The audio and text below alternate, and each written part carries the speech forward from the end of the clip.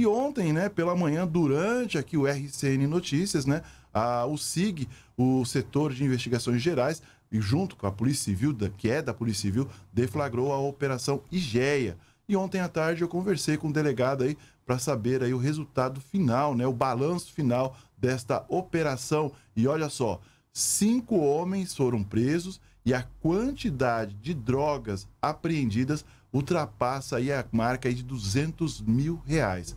Vamos conferir na reportagem. Forças de segurança se uniram na manhã de terça-feira para deflagrar a Operação Régia. Mais de 40 policiais cumpriram mandados de busca e apreensão pela cidade de Três Lagoas. A operação tinha um foco desarticular um grupo criminoso responsável pelo tráfico de drogas em Três Lagoas e outros municípios da costa leste de Mato Grosso do Sul, atuando também em municípios do estado de São Paulo. Foram apreendidos entorpecentes como maconha, cocaína e crack.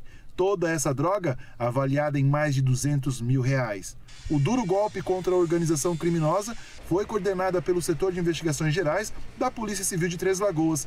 O delegado titular do SIG, Ricardo Cavanha, explica com mais detalhes sobre a operação. Durante as investigações, apuramos que grande parte da cocaína que era é, utilizada para o comércio aí entre, entre esses indivíduos que, que foram presos eram destinadas sim às cidades do estado de São Paulo. Porém, também havia aqui um comércio doméstico dessas drogas, então não dá para mensurar, te dizer especificamente se a droga, essa droga apreendida era exclusivamente para Três Lagoas ou é, era destinada totalmente também para outros municípios, como dito aí até municípios do estado de São Paulo. Durante a operação foram apreendidos mais de 4 quilos de maconha, 2 quilos de crack e 2 quilos de cocaína pura.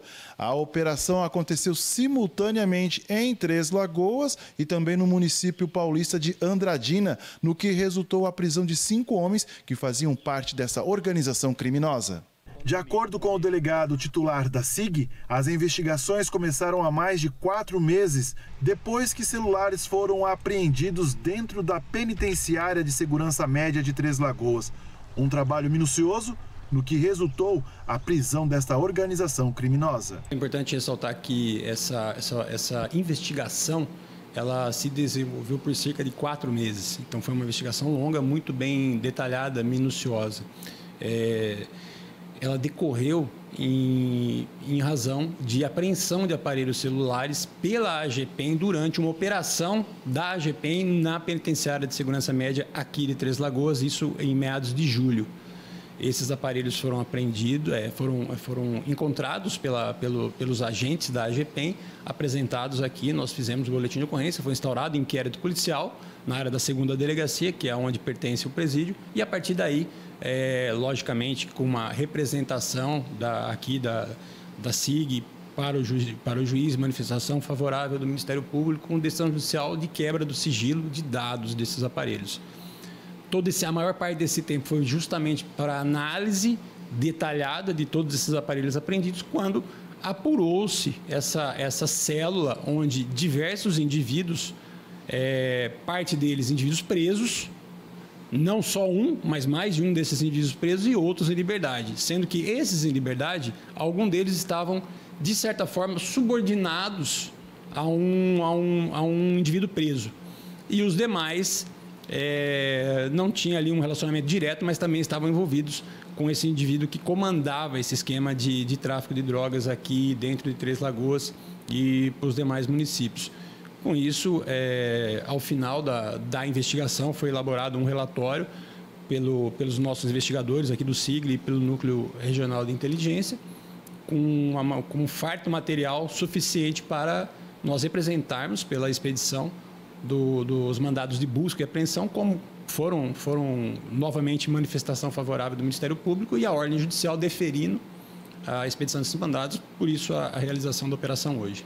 Para o delegado Ricardo Cavanha, a operação foi um sucesso e um duro golpe para o grupo criminoso. Pela quantidade de substância entorpecente apreendida, especificamente cocaína e crack, é, não, não, não tem como dizer que são pequenas, é, pequenos traficantes. Não, a quantidade releva, é, revela uma, uma influência muito grande para ter um poder aquisitivo de adquirir essa droga. O, o valor, o custo é muito alto, principalmente da, da, da cocaína.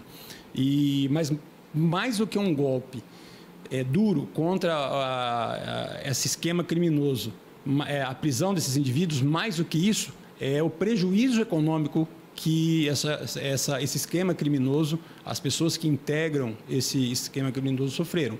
Porque o valor da droga apreendida, os veículos apreendidos, é, celulares apreendidos, quantia em dinheiro apreendido. Então, tudo isso é, causa um efeito, muito, é, um efeito danoso muito maior para o esquema criminoso do que a própria prisão dos indivíduos é, por, si, por si próprio. A ação foi desenvolvida pela Delegacia Regional de Polícia Civil de Três Lagoas e coordenada através da Seção de Investigações Gerais, contando com a participação da Polícia Militar, pela Força Tática e também do Canil, além da Polícia Militar Ambiental, Polícia Federal e da Polícia Civil do município de Andradina, o que mostra a união das forças de segurança no combate ao tráfico de drogas. Essa união é, que nós temos aqui das forças de segurança do município de Três Lagoas é fantástico, é fundamental é, para o sucesso de tudo que a gente consegue é, de combate à criminalidade. Ah, embora a investigação tenha sido desenvolvida pela SIG aqui, com a, com a participação, com o apoio da segunda delegacia também, é, tenha sido coordenado e a, operação tenha sido coordenado é, pela, pela Delegacia Regional de Polícia, e através da SIG, é importante que foi fundamental ou imprescindível para o sucesso da operação a participação das demais equipes que, que das forças de segurança. E aí eu nomeio a todas as equipes de todas as unidades da Polícia Civil, da Delegacia Regional de Polícia de Três Lagoas, que inclui inclusive é, a Polícia Civil de Silvíria e de Água Clara, a Polícia Militar, aqui de, de, de Três Lagoas, incluindo aí a Força Tática e o Canil, que teve um papel fundamental. A Polícia Militar Ambiental, aqui de Três Lagoas. A Polícia Federal, da Delegacia da Polícia Federal aqui de Três Lagoas. E lá em Andradina, a, a equipe da Polícia Civil da, de Andradina, que é uma grande parceira nos trabalhos, a gente está sempre trabalhando junto. É, só lá em Três Lagoas foram empenhados ali cerca de 40 policiais civis. É, perdão, em Andradina, cerca de 40 policiais civis foram empregados é, também nessa, nessa, nessa operação.